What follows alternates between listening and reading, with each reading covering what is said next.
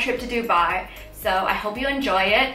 Um, and if you haven't seen part one and part two, make sure you go and check it out. In this video, it's jam-packed with tons of activities I've done in Dubai, including the Gold Souk and the Dubai Mall. If you like this video, make sure that you give it a thumbs up and leave some comments down below so I feel encouraged to make more videos. Alright, let's get started. It's impossible to talk about Dubai without mentioning the Dubai Mall. I was lucky enough that I stay right next to the mall, so I was practically there every day, um, eating, shopping, and whatnot. You can do everything in there. You can even ice skate. Shopping at the Dubai Mall now. The Dubai Mall is huge. If you're gonna shop, make sure you have a game plan. So either, you know, split it up into sections and tackle them one by one, or maybe pick out the stores that you actually wanna visit and then, you know, like plan it out beforehand. Otherwise, you'll be spending a lot of time walking instead of actually shopping. The Dubai ice skating rink at the Dubai Mall.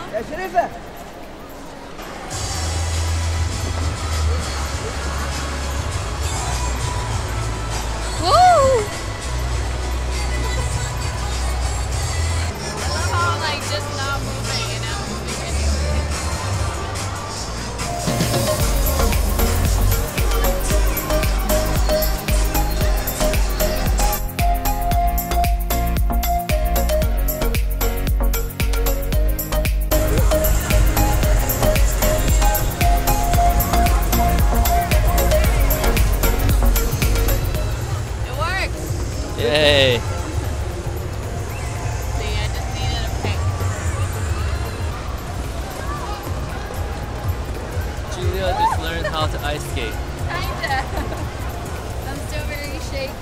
Literally.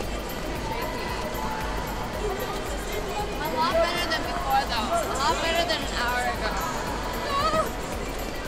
Doesn't have to hold a wall now. Yeah. I uh yeah. You have to check out the famous human waterfalls while you're in the Dubai Mall. It's massive for an indoor waterfall. You can see it actually from all floors in the mall. The main mall is connected to the souk by an open bridge. A souk is essentially like a market. Um, the one near the Dubai Mall actually sells, well, just about everything. And it has restaurants inside too. Um, the point is that bridge is actually a great place to watch the water fountain show and also to see the Burj Khalifa.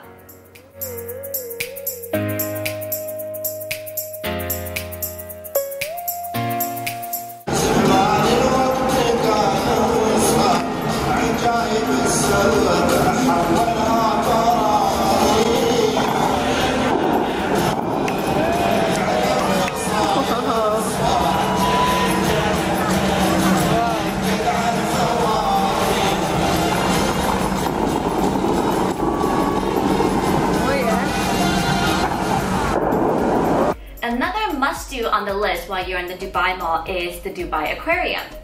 You can actually see the tank from several areas in the mall without having to pay for a ticket.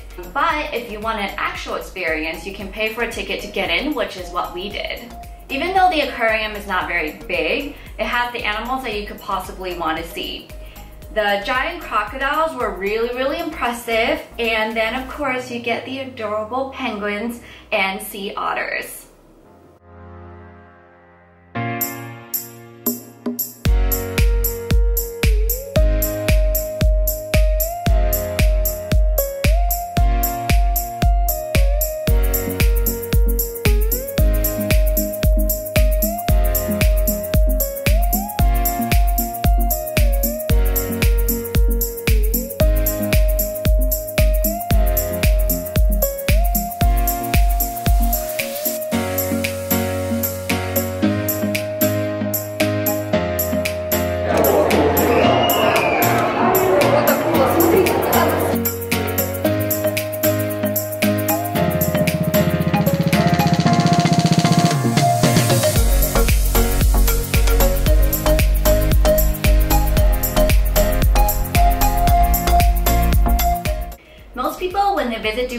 Think of you know beautiful resorts, tall buildings, um, the Dubai Mall. But if you really want to see the real Dubai, make sure that you visit the Old Deira, which is the old town of Dubai. Since I stayed next to the Dubai Mall, I had to take a metro to go to the Old Deira area.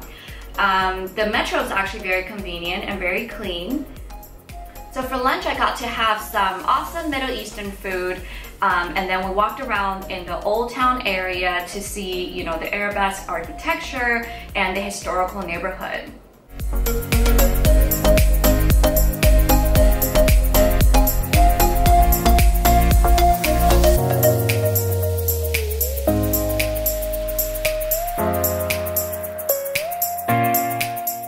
There are quite a lot of souks around the area. The most famous are the herbs, perfume, and gold.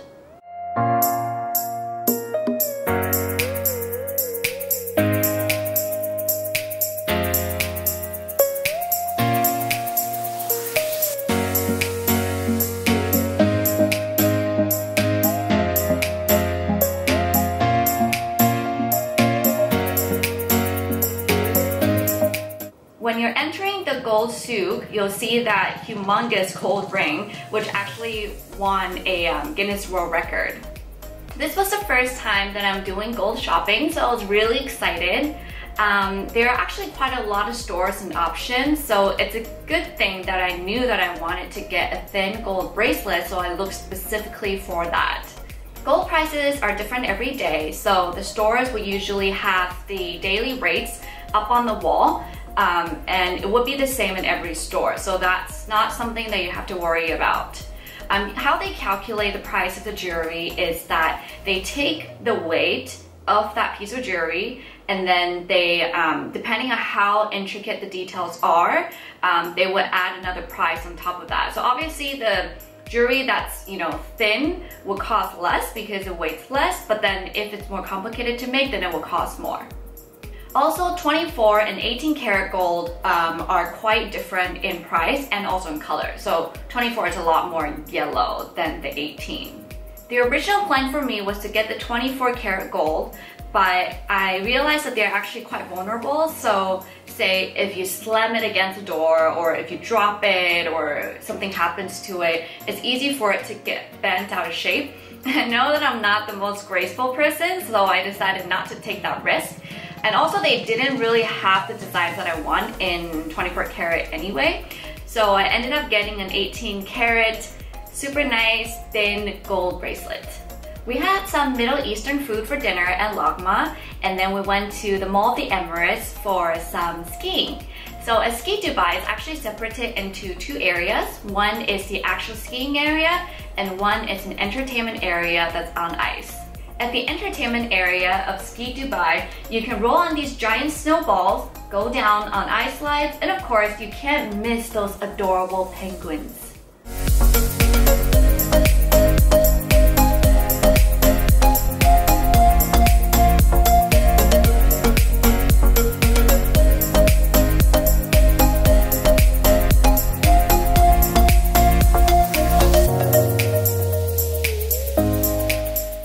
Since I am a total newbie at skiing, we decided to do a beginner's lesson for one hour. We're so high up.